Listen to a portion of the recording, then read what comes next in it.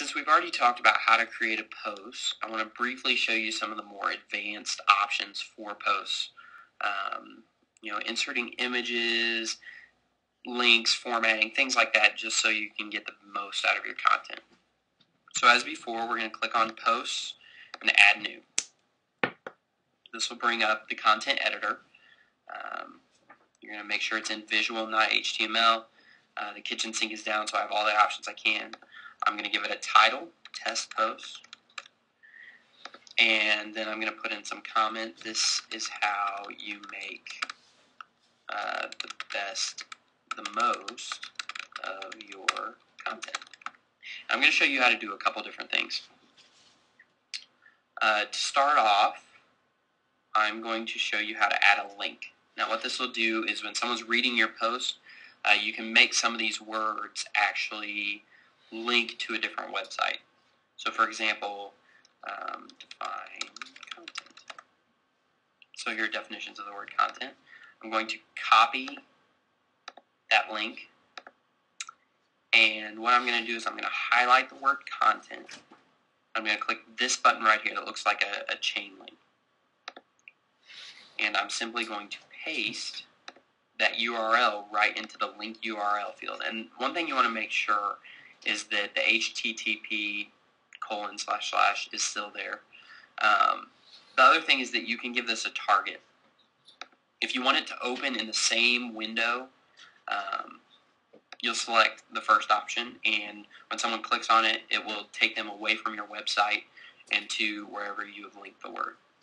If you want it to open a separate window so that an individual can stay in your website and still go to the link that you posted, click Open Link in a new window.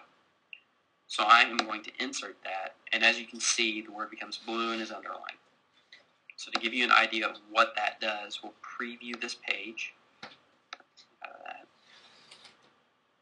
And the, the settings that we have on our website is it turns it um, turns it black, and then as you hover over it, it turns it kind of the screen color.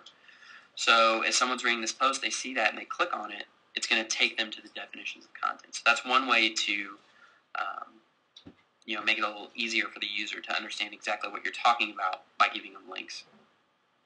You can also insert images, and there are a number of ways to insert images, um, but you're going to go to the same place to do that, and that's this button right here next to Upload Insert. And it, when you stay over it for a second, it says Add an Image.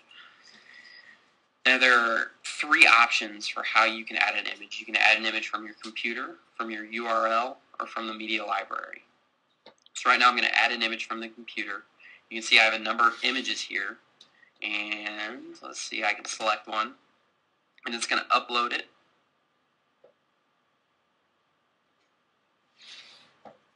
And then it's going to show me its options. Now there are a number of options here, but the, the main thing that you want to pay attention to is the alignment and then the size. So I'm going to keep it right aligned and medium.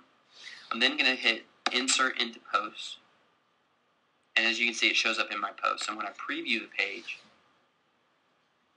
this won't look great because it's just a test, but there's the picture. You can also insert from a URL. So if I go to images at google.com and I want to use a Google image of um, a dog. Oh, that's a scary looking dog. So I can copy image URL because each image on the web on the internet has its own specific uh, URL. And what I can do then is next to upload insert, I'm going to go there again and I'm going to click from URL. And I'm going to put in the URL and give it a title, Scary Dog. And then once again, I'll make sure that it's aligned correctly and I'll insert into post. And there it is. So when we preview, you can see my picture of my scary dog right there. Uh, real quick, the third way, if you've upload, uploaded any images to the website, they're going to stay there. So when you upload the image, you can go to Media Library, and it's going to have all the images on the website. If you want to use those again, uh, you click Show, and then Insert into Post. And that's how you do some of the more advanced features on posting.